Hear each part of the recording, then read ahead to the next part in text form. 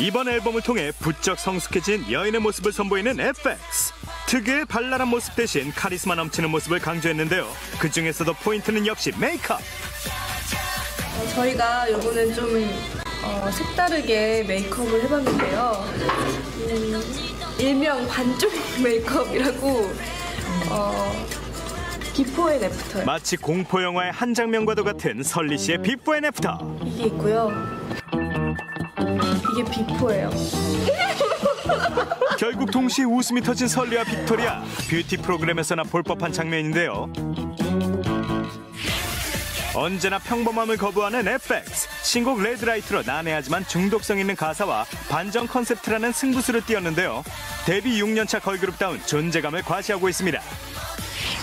뮤직비디오 촬영에 이은 재킷 촬영장에서도 더 다크하고 파격적으로 변신한 모습을 만나볼 수 있었는데요. 무표정으로 카메라를 노려보는 그녀들 조금 무섭기까지 한데요. 뭐 오랜만에 멤버들과 함께 모여서 FX 촬영을 하다 보니까 굉장히 또 오늘은 색달라요. 즐겁기도 하고 굉장히.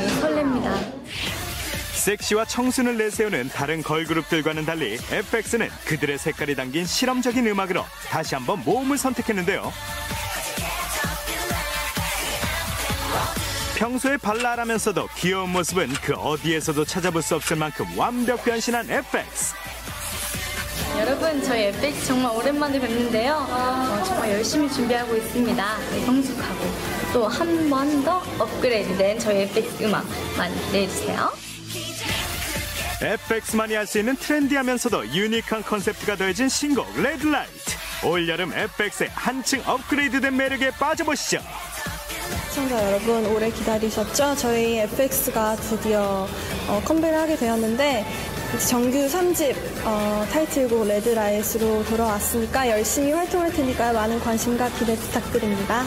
그럼 지금까지 FX였습니다.